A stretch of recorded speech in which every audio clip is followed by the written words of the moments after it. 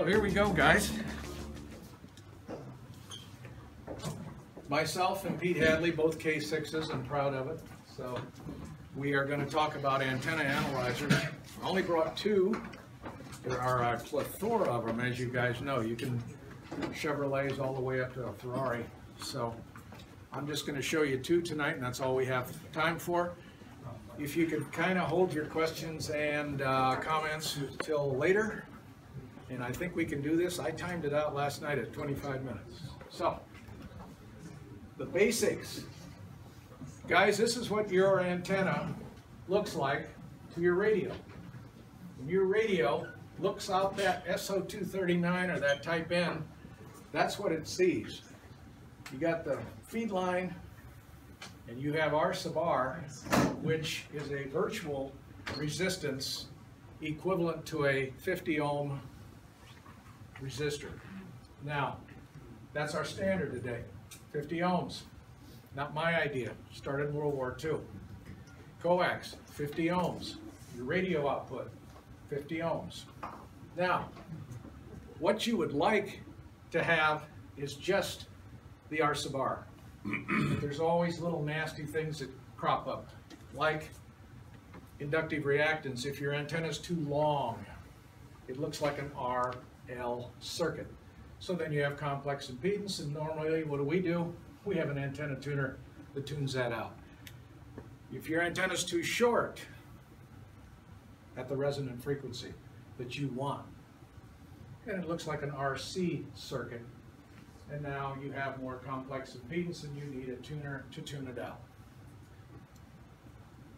R sub O, I'll bet nobody in here worries about it at all because we make our antennas out of copper or aluminum. So very low resistance, very low. My dipole at home, maybe one to two ohms of resistance that actually burns up power in the form of heat. So that's basically what you have, and I mean very basic, what you have that your radio sees when you turn it on. A series RCL circuit. Okay. Very simply, on a transmission line, the ratio of max voltage to min voltage is called VSWR. And I want everybody in here, say it like a man, VISWAR. VISWAR. I had students who would go out in the field and send a cable back and actually write out every time voltage standing wave ratio was, good lord, just to take up time on the cable. It's, by the way, it's always a ratio. There's no such thing as, uh, my VISWAR is 2. No, it's not. It's 2 to 1. My VISWAR is 1.75. No, it's not. It's 1.75 to 1. Number two, you can only have 1 to 1 when the transmission line is terminated in a pure resistance of the same ohmic value as the characteristic of the line. Now, what's that mean? You can only have 1 to 1 if your radio is 50 ohms your transmission line is 50 ohms, your connectors are 50 ohms, and your antenna is resonant, so it's 50 ohms. Okay? That's the only time you can have one-to-one. -one. If the load contains reactance, the load being the antenna, why would it contain reactance? Too long, X of L. Too short, X of C. Maybe the siding on your house.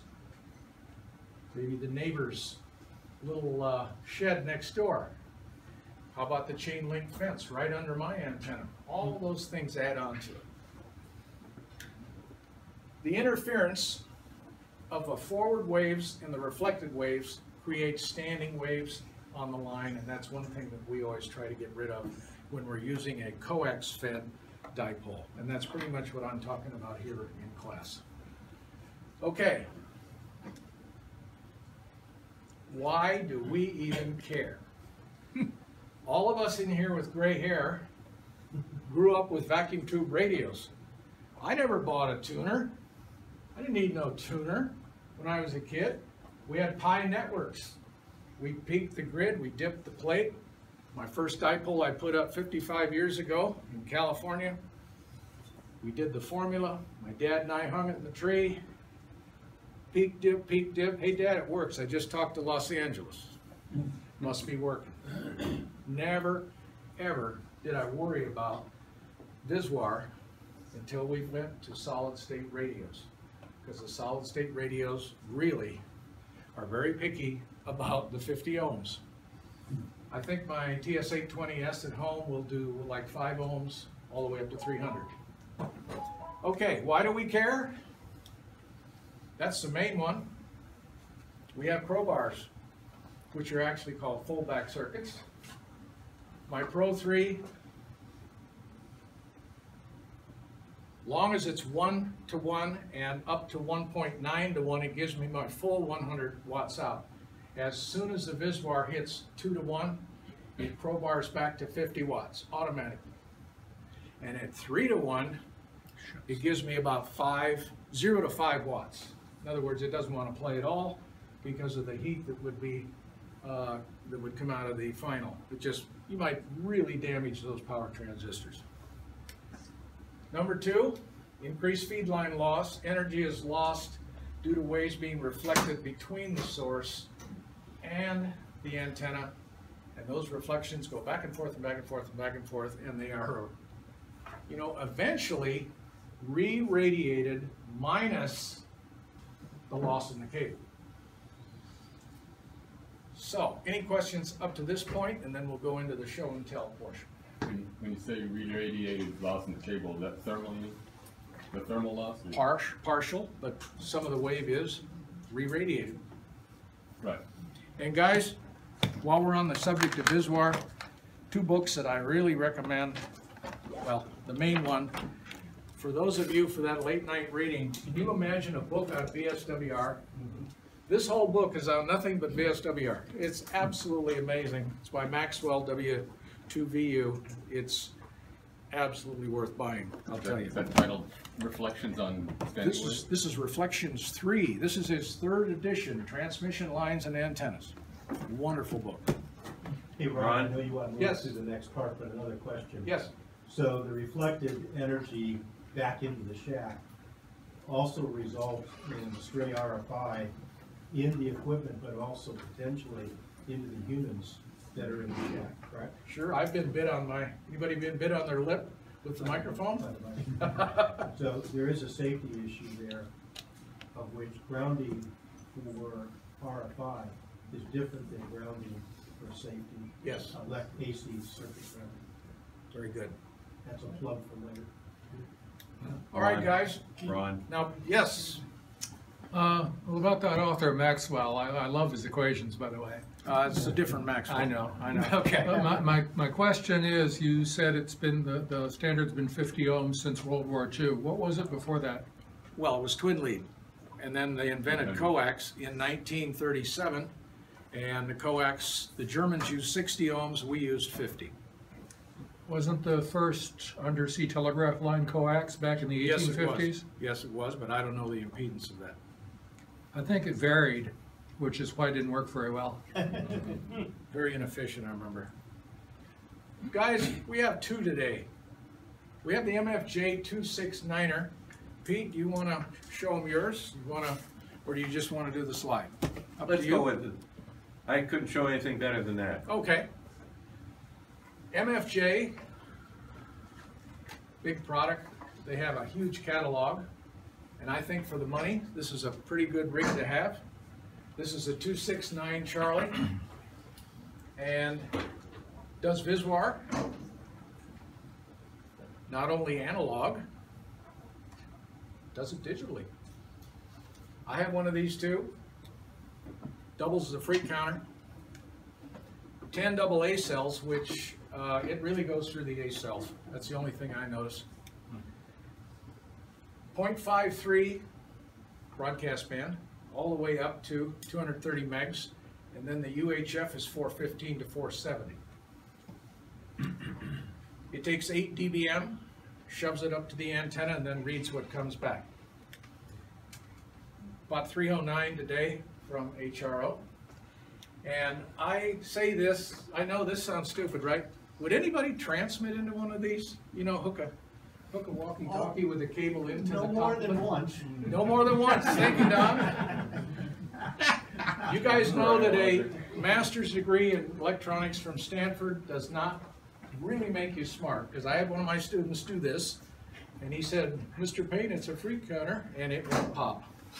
So so I always put this on there, please, don't do that. Okay. Then there's Comet.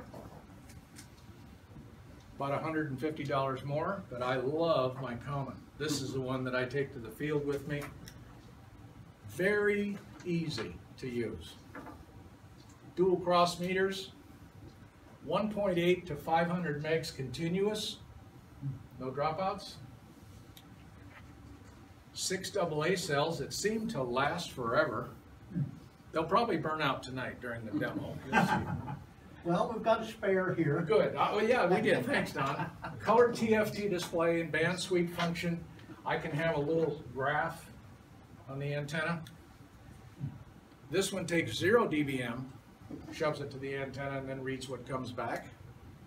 Two jacks, got an SO239 for HF, and of course the type N here for UHF. 439.95, little pricey. But I think us hams, every one of us should have an analyzer. Every one of us ham should have one of these. Just a good thing to have in the shack. And again, don't transmit it to this either. Okay, any questions? And then we'll start with the uh, demonstrations here of how they work.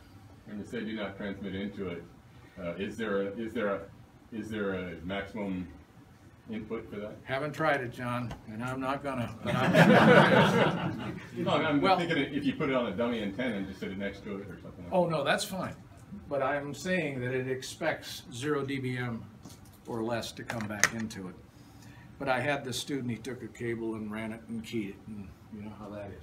Okay, guys, so I'll turn this on so we can see what we're doing. Woo. Okay, No, I can't, not now. okay. Has anybody seen these?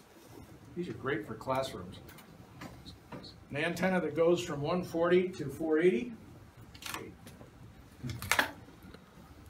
So let's just see, let's just see what this uh, resonant frequency is here. So we have to have, yep. let's see, did I bring, did I bring the right one? Yes, I did, I believe.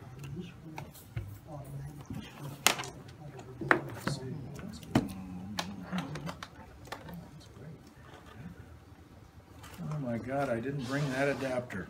Which one?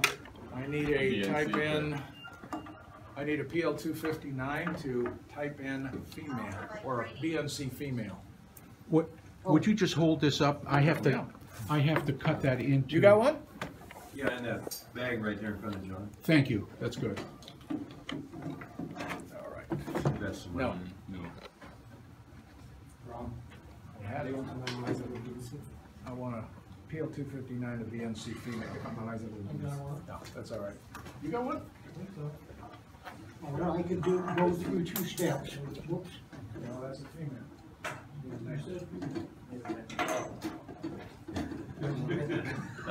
Look at it. I had too much to eat tonight. Okay, guys, here we go. Thank you, Bill. We owe, I owe you one. Okay, Okay, you got it. I got it. All right. We're gonna turn this on. And, yeah, I'll just let you hold that up. Yeah, like that. It should be around hundred and forty. Well, we'll see. So what we do, we switch the band here. Notice this beautiful digital readout, a TFT readout. We're gonna go down to one forty-five megahertz. And I'm tuning, and there's one point oh oh oh to one. Turn to your 50 left. ohms.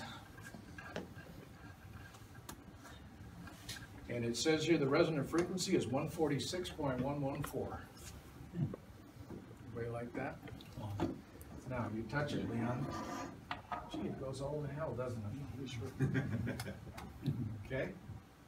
Now, shorten it up, yeah. I've had people ask me, uh, hey Ron, can I use my two hundred and twenty meg antenna on hundred and forty megs? Well, okay. I don't think so. I can't make it any longer. Let's, let's see what this does. Let's see what this does. You're just lengthening the ground plane. that's- Yep, let's see if that does anything. What would you expect it to do? Just what I did. Not the same. Which is nothing. Nothing. Okay. You wanna do a four forty then? Sure, why not? That's the best we can do is one fifty on this one. Okay? All right, let's see here. Primarily because you're inside. Primarily outside, it's great, standing out in the backyard. Yes, Before you do that, what, what's the reservoir at forty? okay, what is the Viswar at that? Okay. And I'll tell you what, Bill, you would never gripe about one point five to one. Oh, no. And it's actually one point five to one across the entire band. It doesn't even go to two to one until one forty, so it'd be just fine according to your radio. It'd be just fine. Okay? Can I have that antenna when you're done? Yeah, sure. Everybody wants these. I wish he hadn't kept, quit selling them, I'll tell you that. Let's do four forty. On the estate sale,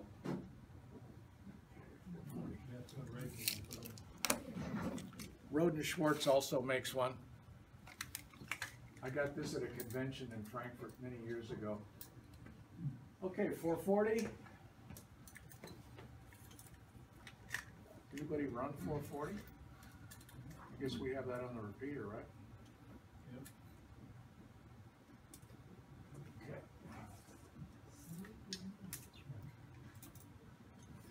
Forty.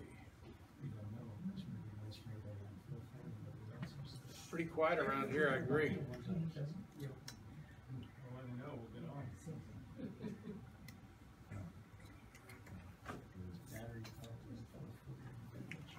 Let's see what we can do on four forty.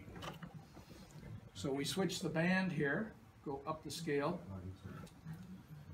To four fourteen, four fifty-four.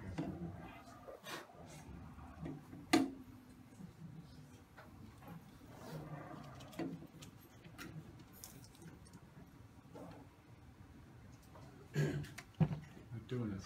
No, Ray, you have to switch to the UHF. I did that at home and I said, I won't do that at the meeting. Well, well, you just demonstrated so we can know. just, I just did, yes, don't do that, don't do that again, okay. Now, okay, at four thirty-six. Oh, beautiful.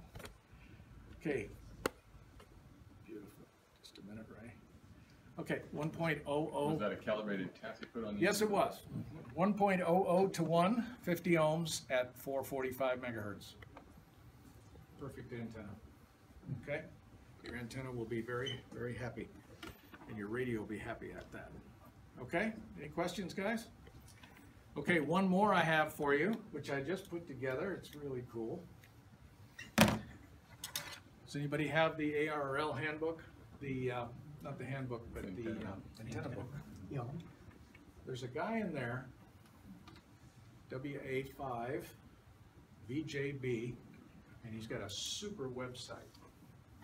Guys, for less than a dollar, you can make ten dB gain. This is a wide space, two meter, uh, four forty array. And the way he feeds the center, he uses J. He uses a J feed, like a J pole. Man, this thing is unbelievable. So, I'm gonna hook this up. And I think you guys will enjoy this. I mean, it's, you can go home and make one heck of oh, an antenna. Unless you're getting right. Very high, very high Q, very high Q. Okay. Okay.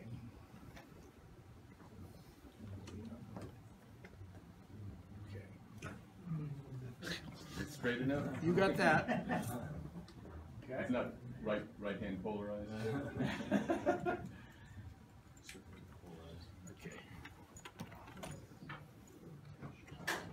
So is that a balun under there? I've, uh, pointed this at our repeater, and it's like, gotcha, don't hear you at all. All right, so I built the antenna, and this is basically what I did at home. I'm just gonna sweep it.